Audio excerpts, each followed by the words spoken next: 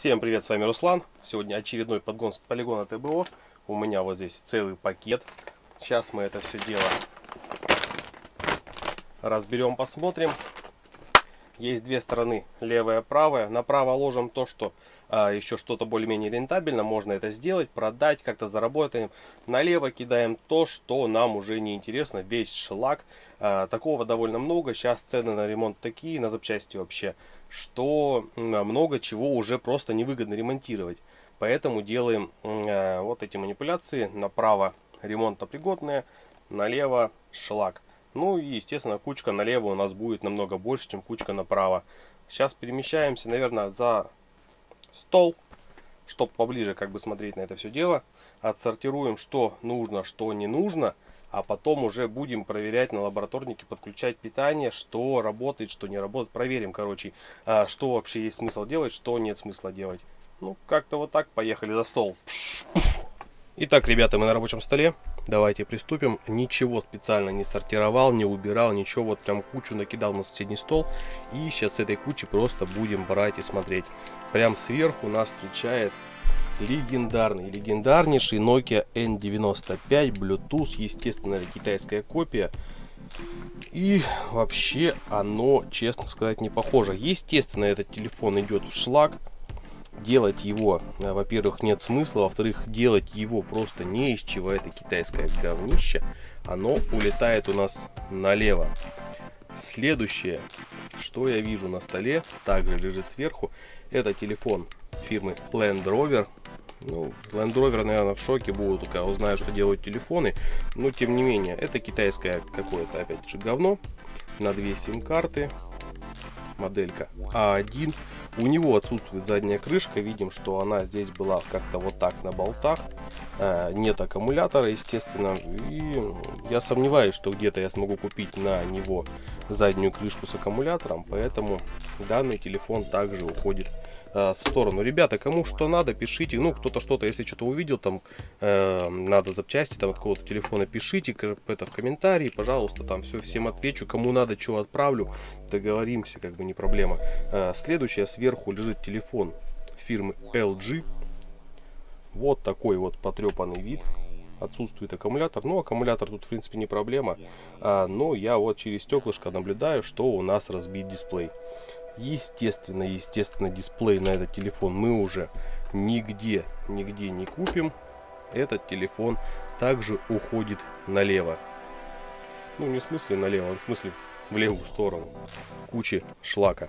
Следующее, что я вижу, это у нас а, Sony Ericsson Z550i. Довольно интересный аппарат был в свое время, довольно популярный. У нас здесь полный комплект. Это аккумулятор, задняя крышка, все есть.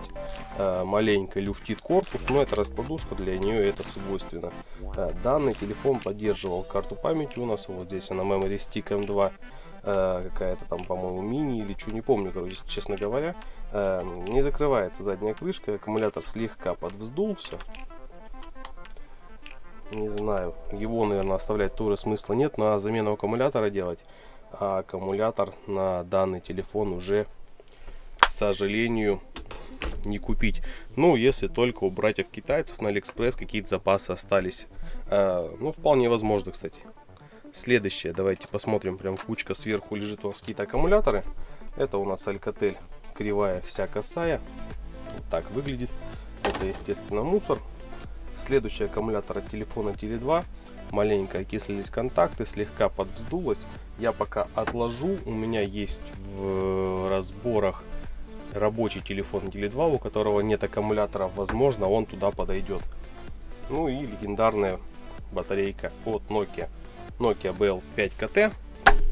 Это у нас сенсорного C3. Ну, наподобие такие телефоны были. Ее, кстати говоря, я оставлю, если она рабочая, она мне в принципе пригодится. Далее встречает нас а, кабель мини USB. Кстати, сказать целый. Он, естественно, тоже вправо идет, он не продастся, но он мне нужен лично. Потому что мини USB кабеля у нас сейчас становится редкостью. А, уже вышли с оборота эти разъемы, но некоторые устройства все-таки на них поступают еще. Вот такой вот бедолага. Это Dexp E8. Вроде бы целый, но нет аккумулятора, опять же нет задней крышки. И через стекло я наблюдаю здесь трещину в нижней части экрана. Так что телефон опять же уходит налево. Смотрите, как получается, направо у нас ничего толком еще не ушло. Но еще не вечер. Далее, вот такая вот бомбилка-звонилка. Также от фирмы Dexp. У нас есть аккумулятор, моделька у нас М2. Аккумулятор довольно увесистый. Проблема в том, что задняя крышка у нас здесь сломана. Через стекло я не вижу трещин. Возможно, возможно дисплей целый. Я его отправляю направо. Даже если он работает, продать его, конечно, не получится в таком состоянии, но оставить чисто для себя, чтобы вставить в него рабочую сим-карту, вполне подойдет. вот такой бедолага. Сразу видно, что он с помойки. Естественно, потом руки обработаем хлоркой. Никак по-другому. Хлорка наша все. А, ребят, я даже не знаю, как его открыть. Прям сейчас я боюсь, что с него тараканы посыпятся. А, давайте не будем его открывать. Он по-любому мертвый. Даже если там все целое, он внутри прогнил уже от влаги. Просто уберем его в сторонку и от греха подальше, чтобы ничем него не заразиться. И возьмем следующий аппарат, а это у нас вот такой легендарный Samsung. Модель у нас здесь X630, вот видно. Целая камера. К сожалению, отсутствует аккумулятор. Аккумулятор, я так понимаю, здесь был обычный, но тут еще должна быть крышка корпуса. С виду целый аппарат. Здесь еще старый разъем, но разъему конец разъем видно, внутри там уже все, контакты вырваны. Так что он также идет налево. Следующий аккумулятор кодек. Не знаю, с кода фотоаппарата по ходу дела. Ну, явно не с принтера. А, ставим аккумулятор от кодека. Возможно, под какую-то китайскую технику он подойдет, но не факт. И возьмем а, первый аппарат, который, возможно, возможно, удостоится у нас правой стороны. Возможно, но это не точно. Я не пойму, что за фирма. Нет, пойму, это Motorola. Вот значок Motorola. Это со свежих Motorola. Моделька у нас вот такая, на 8 гигабайт. Разбит дисплей в хлам. Дисплей идет модулем с тачскрином.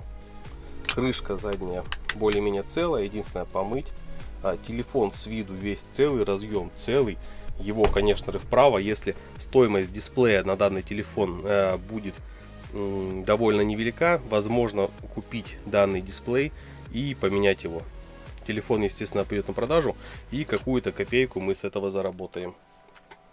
А пока нас встречает вот такой HTC HTC. Жалко, компания загнулась.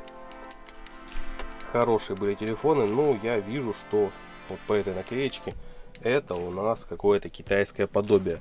Во-первых, вот это вот гарантийная наклейка выдает. И вот эта вот наклейка также выдает. Аккумулятор без маркировок.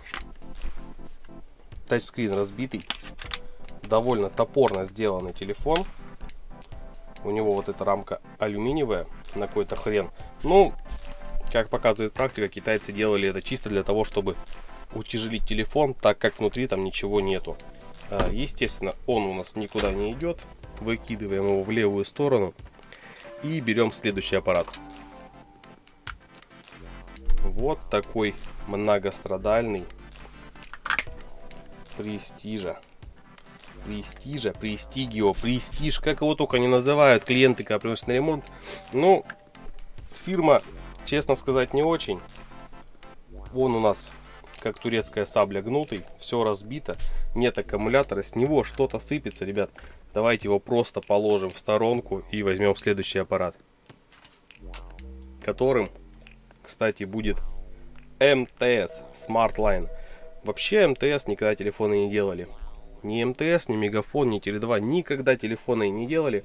Они делали только софт, заказывали где-то вот эту вот болванку без прошивки, заливали туда свою прошивку и получались типа их телефоны. И, как показывает практика, обычно получалось все не очень. В данном случае у нас разбит тач, целый дисплей, я вижу под тачом. Нету задней крышки, нет аккумулятора. И в целом телефона у нас такого больше нет. Это все пойдет у меня в разбор. В разбор, в разборе оно проваляется какое-то время, потом я разберу это на платы, поеду это все сдам. Ну, короче, круговорот телефонов в природе. Потом их переплавят, сделают новые телефоны с этих драгметаллов, которые там они, ну, не знаю, либо кольца там, ну, короче, вот так вот все это происходит. Э, следующий дуос, Samsung. Вообще, вот честно сказать, вот э, есть продажи и крышка, и тач есть, все. Ну, вот это вот, вот эти дуосы, это Star Advance, там Star Plus, вот это вот тоже какой-то Star, я даже вот не знаю. S7262. Э, У меня даже есть по-любому на это все крышка, батарейка. Ну, это такой деревянный аппарат, ребят, что вот нет желания его даже ремонтировать. Э, ну, не знаю, оставлю, оставлю. Если у меня это все есть, я свои запчасти воткну, то есть не затрачу никаких денег, я его соберу. Чисто символически за тысячу я его продам, дай бог, чтобы ну, кому-то просто была звонилка. Более ничего с него не потребуется. Он не может ничего. Там даже 3G нету. Это телефоны, из которых вырезали 3G, чтобы они были дешевле. Э, ну, Samsung. Samsung делали вещи. Аба. Видим что. BQ, Strike, селфи. Почему селфи? Потому что есть камера спереди вот такая посередине. Типа прям селфи. Но прям по глазку я вижу, что камера там довольно не очень. Что э, с него может выйти с этого телефона? Если плата запускается, ремонтировать его, естественно, бесполезно. Если плата у него запускается, на Авито эти платы покупают рублей по 500. 500 рублей с этого телефона, в принципе, поиметь э, будет неплохо, но если он запускается. Хаба! Еще одна у нас легенда. Это Nokia. Модель не помню. Этих Nokia было прям до хрена разных моделей аккумулятор у нас уже там вкипел, не вытаскивается. А, он приклеенный, ё-моё. Вот это я туплю вообще. Вы хоть комментарии пишите, там, что я туплю, когда или что. Я хоть почитаю, будет интересно мне. Лич, лично мне будет интересно, не вам, мне. Мне пишите комментарии, я почитаю. А, модель 12.2.0. Довольно интересный аппарат был в свое время. Я помню, я только начинал ремонтировать телефоны. Мне вот этого товарища притащили такого же на разблокировку поставили пароль и все. Я перепробовал все методы, ну, может быть, я был на то время еще, а, ну, деревянный. Программаторов никаких не было еще даже. Они, может быть, и были, я о них не знал просто элементарно. Я не смог его разблокировать. Это, это защита, прям защита. То есть телефон деревянный, заблокировал все. В него ты не попадешь. Это вам не Android там какой-нибудь заблокировал, ФРП снял, потом все и пользуйся дальше. Тут все, ты закинул, а в него пароль и просто тупо выбросил телефон после этого. Что-то я разошелся, да? Следующий Nokia. Опять Nokia моделька у нас. А, это 105 легендарная 105 Блин, жалко, она разбитая. Я бы себе в коллекцию его, честно сказать, оставил. Блин, вот я люблю вот эти старые аппараты. Вот у меня край глаза косится, короче, на другую Nokia. Вот она рядом лежит. Это тоже у нас легендарный аппарат. Это у нас Nokia 1101 он по-любому рабочий, вот сто процентов. Тут нечему ломаться, они вот эти телефоны, они вечные. Я сейчас не удивлюсь, что он включится еще. Так, тут пуш у нас это снимается корпус. А, давайте попробуем запустить. А, ну просто, скорее всего, аккумулятор севший. Вот, вот 100%. Я его, конечно, оставляю в коллекцию. Не продать, ничего, чисто для себя. Убираю. Вот эти телефоны, они вечные.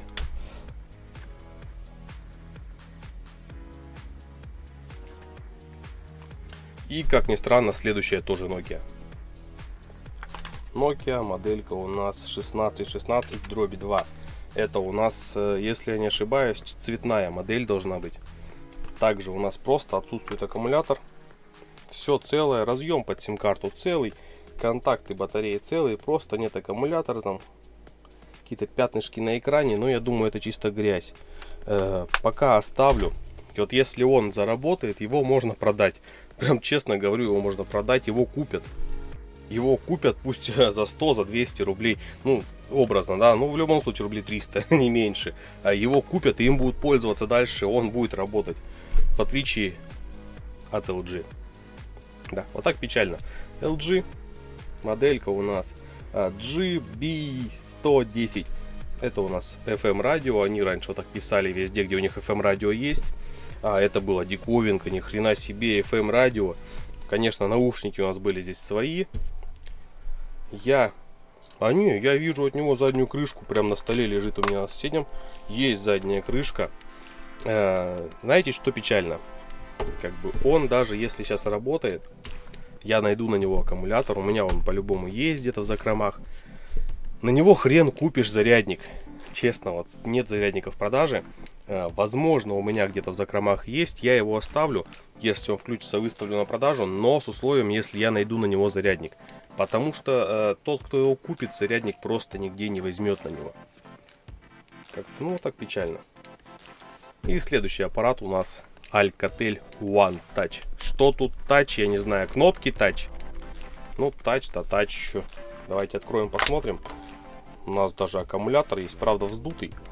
Смотрите, две сим-карты вот в этой малышке. А, те года, те года, это было редкость, чтобы было две сим-карты в таких аппаратах.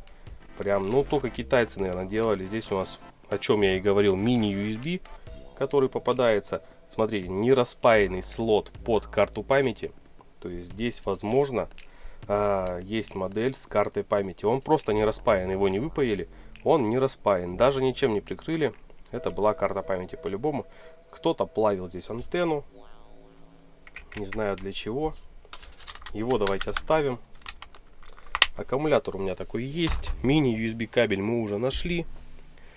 Ну, а вдруг? И вот это тоже вечный аппарат. Вот эти старые Samsung. Я, блин, не помню, как он открывается даже, прикиньте. Вот эти старые Samsung. Это кто у нас? Вот это GT1220M. Они вечные. Это еще до дуосов. Это вот с одной сим-картой. Они вечные. На них все еще продаются зарядники. Я вам больше скажу.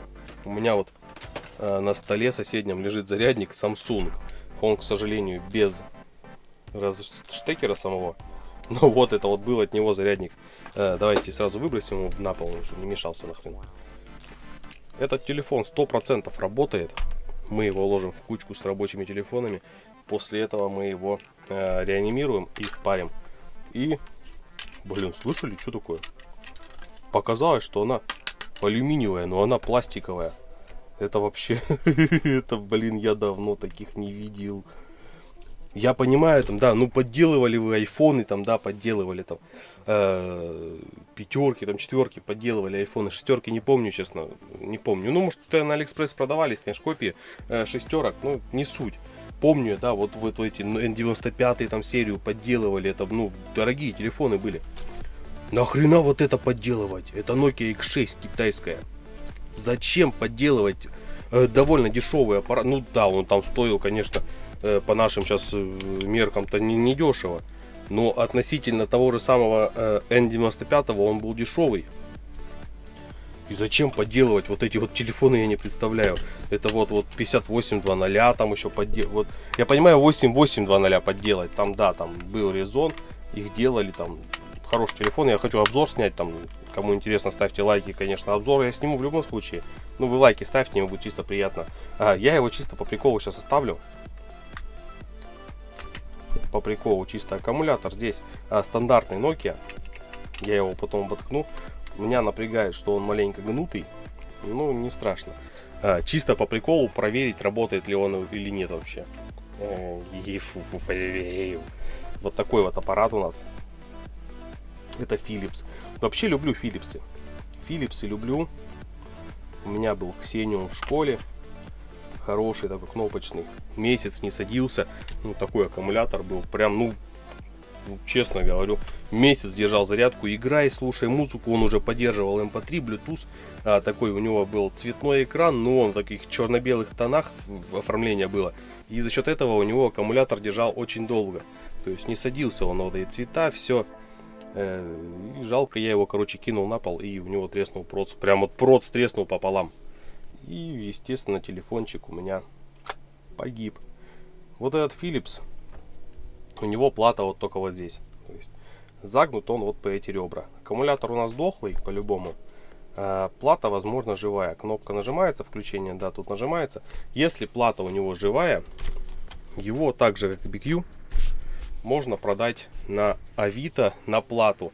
А, потому что бывают люди, кому надо чисто плату, не хотят ремонтировать плату и ну, выкупают просто донора. И потом просто ставят свои все э, запчасти на этого донора. И вот следующий аппарат под руку попадается. Кажется, мне он где-то уже был в сервисе. Сенсор не работает. Ну, естественно, не работает. Он разбитый, ёпта. Как он будет работать? Давайте вскроем. Это Fly. Ребята, Fly. Waterfly, Fly. IQ 403. Quad. Э, ну, что-то мне подсказывает, это четырехъядерный телефон, да. Ну, 8 э, оперативы, хотел сказать, пусть какие там 8 оперативы. 8 встроенный, 5 мегапикселей камера. Э, ну, относительно ровный, относительно, да. Аккумулятор чуть погнутый, ну не страшно. Э, есть, есть вариант э, загуглить запчасти, сколько стоят, и поменять дисплей. Ну, если он, конечно, стоит адекватных денег, потому что бывает, что стоит неадекватных денег. У нас так в разброс, да, там сенсорный, кнопочный. Там под конец у меня, конечно, лежит такое себе э, чудо. Потом покажу, да, под конец уже. Ну, естественно, оставайтесь, досматривайте. Это у нас LG. О чем я говорил, да, FM радио. Здесь у нас одна сим-карта. Опять же, опять же, свой разъем. А нет, ни хрена себе, смотрите, микро. Микро. А куда наушники вставлять? В микро, что ли? И тишкин корень. То есть они в микро впихнули наушники. Смотрите, да, в наушники в микро впихнули. Это где потом такие наушники брать, мне интересно. Ты, то есть, купил телефон, у него по-любому в комплекте были какие-то беспонтовые уши. Они у тебя порвались через неделю, и ты, где ты возьмешь такие наушники вот в то время? Это сейчас можно там, да, заколхозить, либо купить переходник. На то время Ага, переходников не было. Блин. Ну, если, конечно, и не ложили его в комплекте, в чем я э, дико сомневаюсь вообще.